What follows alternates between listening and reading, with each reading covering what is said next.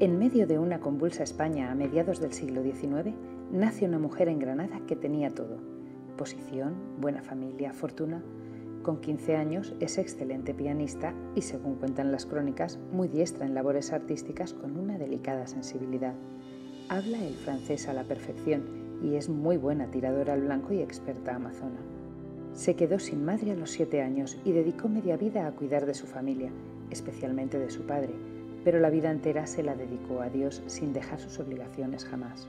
Una mujer que con la muerte de su padre hereda una gran fortuna que distribuye a manos llenas a todo aquel que lo necesita, generosa, con sangre misionera y apoyada siempre en la oración. Todo empezó aquí.